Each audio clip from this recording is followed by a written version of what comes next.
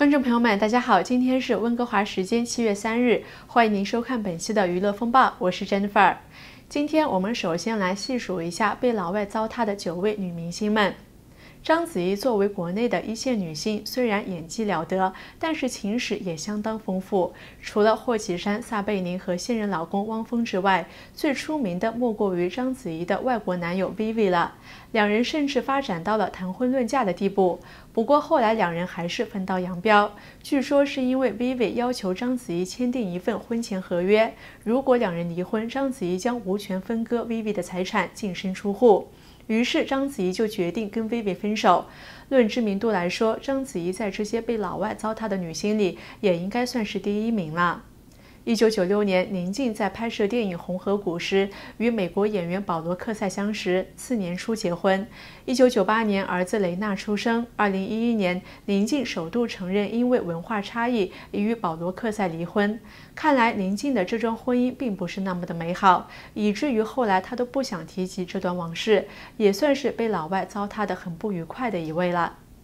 孟广美从模特到主持再到演员，全面发展的孟广美应该算很有天赋，哪想情商却很低。前年她被同居四年的意大利男友骗财骗色，当时她自称被旧爱拉到地狱最底层，要退住月租九万元爱巢，停工保时捷及奔驰跑车，还由香港搬去北京，出入坐公交车。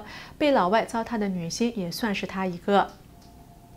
袁立与加拿大律师林博文相恋，但两人因为文化地域的问题也是经常争吵。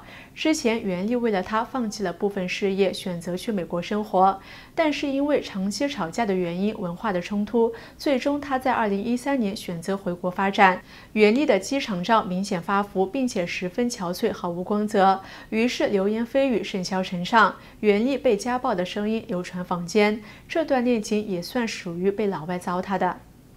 歌后维维与瑞典老公成婚，婚后日子并不十分惬意。她和丈夫两人的对立重重，但是两人也是有了三个爱情的结晶。这也致使后来两人在争夺三个孩子的监护权而引起一场闹剧。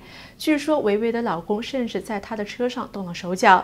虽然不知道是真是假，但是曾经的夫妻闹成这样，曾经的歌后被老外糟蹋成这样，也是令人唏嘘不已。李晴晴曾有过三段婚姻，三任丈夫都是外国人，其中有日本人、美国人和法国人。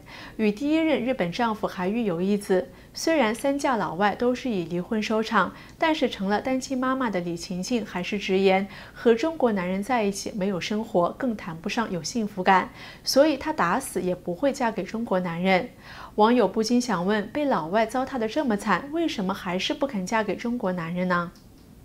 邬君梅当年单枪匹马闯进了好莱坞，在二十四岁就被评为全球最美五十人，二十八岁就成为奥斯卡金像奖终身评委。没想到她却毅然嫁给了一位大她十二岁的无名导演。至今，邬君梅已经和丈夫携手走过了二十多年，但是膝下却没有一儿半女。曾经，邬君梅尝试过通过试管手术来怀孕，但是求子心切的她做了九次人工受孕都没有成功。现在的邬君梅已经五十二岁了，但是仍然未孕。娱乐圈里现在不仅是内地女明星喜欢嫁给假富豪，连港澳的女明星也开始赶这个潮流了吗？离开黎明之后的乐基儿，这不就被港媒爆出来，商人老公原来有着欠债三千万元的前科。大家最开始认识乐基儿，多半就是她和天王黎明的婚姻。乐基儿其实也是一名很有个性的名模，身材放在娱乐圈里算是数一数二的，否则也不会让天王拜倒在自己的石榴裙下了。后来，因为乐基儿疑似隆胸又取出假体，所以港媒曾经给她起了一个外号“拆弹专家”。所以当时离乐恋曝光后，天王粉丝都不好了。这个女人装胸又拆胸，怎么能当我们的嫂子呢？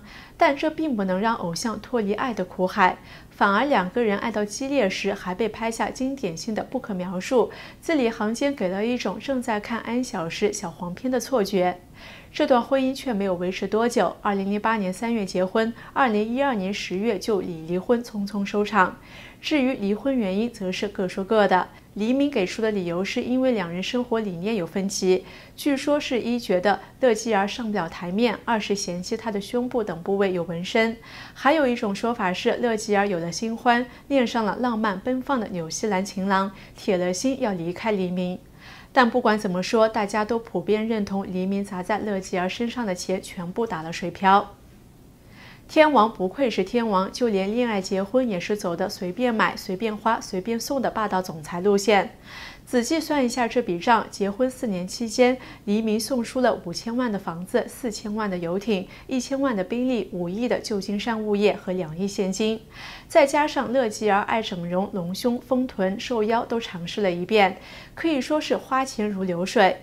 所以媒体对他俩的形容不是乐基儿败光了七点五亿，就是黎明花钱不讨好。后来的后来，两人又分别结婚生子，黎明和女助手阿魏去年生下了一个女儿，而乐基儿也在二零一七年嫁给了商人 In，今年宣布生了一个儿子。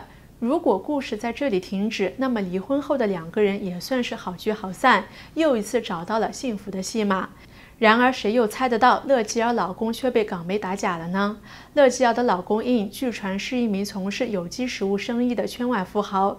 由于过于低调，印的身份没有更多信息，只知道乐基儿和他相识十多年，通过瑜伽爱好成为了朋友，交往了将近两年，日常就是一起到世界各地去做瑜伽、冲浪。而在港媒的打假中，印也曾有过一段失败婚姻的男同学，期间他因为经营不善，欠债三千万元后穷到。申请了破产，感情事业双失败，应又是怎么样在短短几年内东山再起，从破产户变成了富商的呢？